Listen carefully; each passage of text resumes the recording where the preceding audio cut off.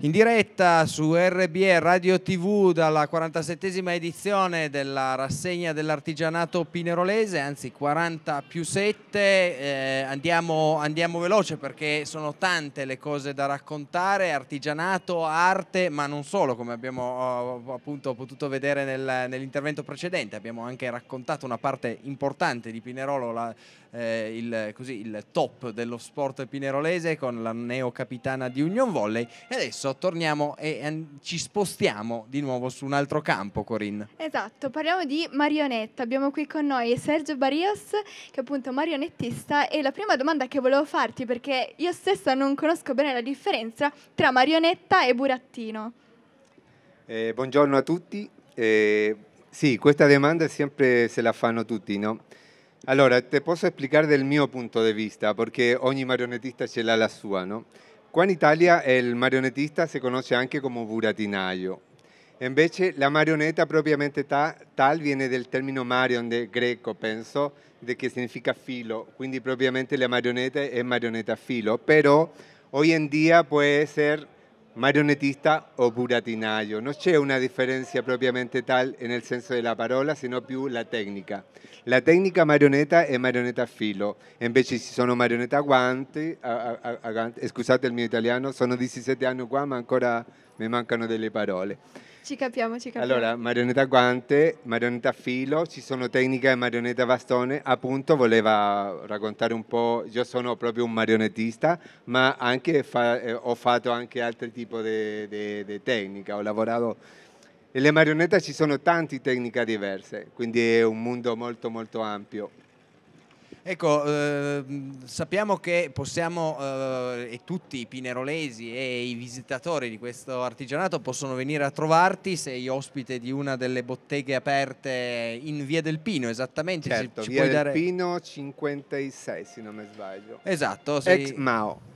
Esatto, ex Mao, ex Mao dove, ecco, noi, eh, io oggi avevo chiesto a Sergio che insomma conosco perché eh, abitiamo Siamo abbastanza vicini. vicini. e ho visto più volte anche i suoi spettacoli, gli avevo chiesto ma magari se riesce a portare qualcosa, però ecco, è, è tutto allestito e tutto molto, molto, in equilibrio e non è stato possibile, però siamo già molto contenti ecco, di, di avere te a, a, raccontarcelo, ma se andate a trovarlo potete eh, vedere e sorprendervi perché forse forse è un po' questo no? il, il, bello anche del tuo lavoro, portare i bambini, ma i bambini di tutte le età, anche della nostra, eh, in un mondo di, di, sogni, di fantasia, di colori, anche attraverso una semplice marionetta, che poi troppo semplice non è.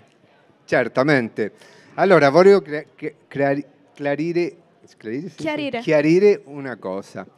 Il teatro marionetta è proprio un'espressione molto antica, infatti era così antico, per esempio qua in Europa nel Medioevo si usava proprio per adulti, cioè la marionetta è venuto rapportato per bambini nell'epoca eh, contemporanea, hanno fatto proprio passare del teatro marionetta a intrattenzione dei bambini. Noi in questo punto appuntiamo molto forte a ritomare l'antichità come proprio un'espressione teatrale. Le marionette non sono solo per bambini, anzi credo che se, se vedi un spettacolo marionetta ti trasporta a essere un bambino magari, o anche mai tu visto una marionetta, quando vedi una, non lo so, ti succede qualcosa che ti, che ti porta indietro.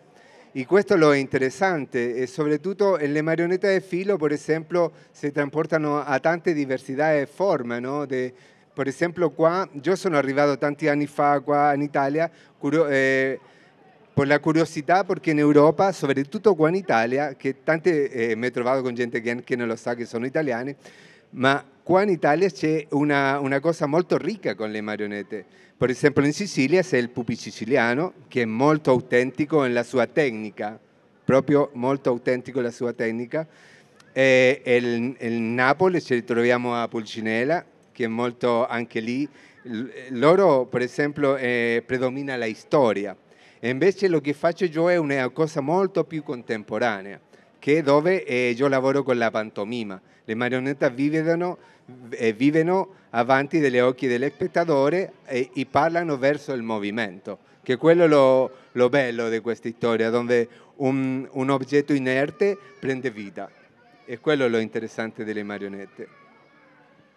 E quindi, eh, insomma, la, la, marionetta non si può eh, staccare dallo spettacolo, no? Perché in quel momento che, che prende vita. No. Credo che la marionetta deve esistere, infatti noi eh, eh, stiamo lottando, soprattutto in questo tempo dove la tecnologia, dove il videogioco, che non sono contrario, è normale che la tecnologia deve continuare a avanzare, ma le cose preziose come il teatro di figura non deve perdersi, perché questo è una cosa che nessun gioco, nessuna tecnologia te lo darà. L'automata meccanico è una cosa, però quando una persona tramuta, io le, le parlo come una tramutazione della mia energia per darle una vita. Ah, esci il mio dottore. Saluto dottore. E ehm, quindi sono molto, appunto, diceva questo, no? che, che, ti trasporta a un mondo diverso e io invito a tutti ad andare a vedere. Purtroppo lo spazio che ho non è, eh, non è, diciamo, non è allestito per fare spettacoli, ma ci sarà una sorpresa quando si riúne un po' di persone, io faccio piccole dimostrazioni di un minuto per far vedere proprio il movimento, ma ti troverete veramente di sorpresa su questo.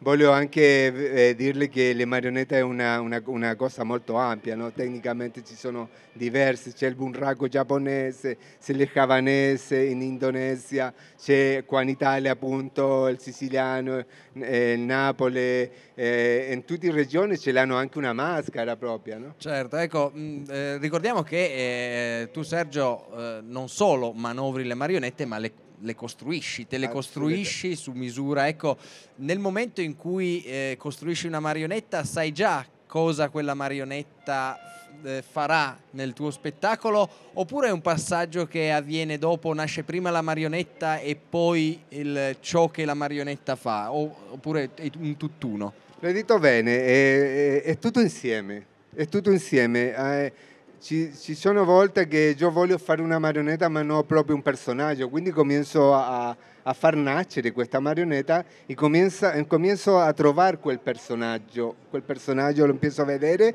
e dopo le aggiungo proprio il suo nome e lo che fa. Le marionette per, per, per costruirle, lo dico una roba così, no? quello che io dico quando faccio dei, dei piccoli corsi, che la marionetta tu le costruisci con un passato, con un presente e con un futuro, così già sai a dove va, in quella direzione. Vorrei anche fare un parentesi su questo, il punto la, l'arte delle marionette. Qua, qua a Pinarolo propriamente tal, un, tanti anni fa eh, si, fa, si, si, faceva un festival bellissimo di teatro di figura, adesso continua facendosi ma al chiuso in teatro che lo, fa, lo organizza Damiano Privetera e con il Teatro del Lavoro.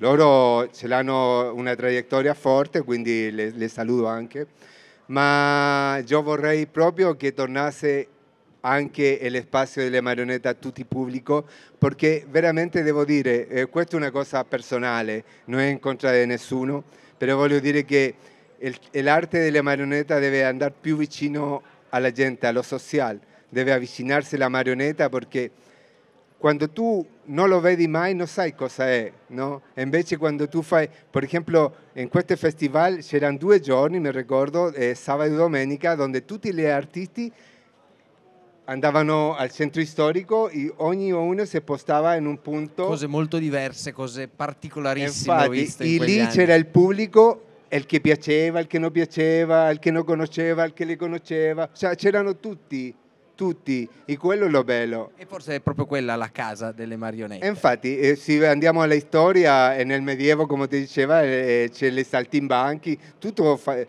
anzi, eh, era molto politico.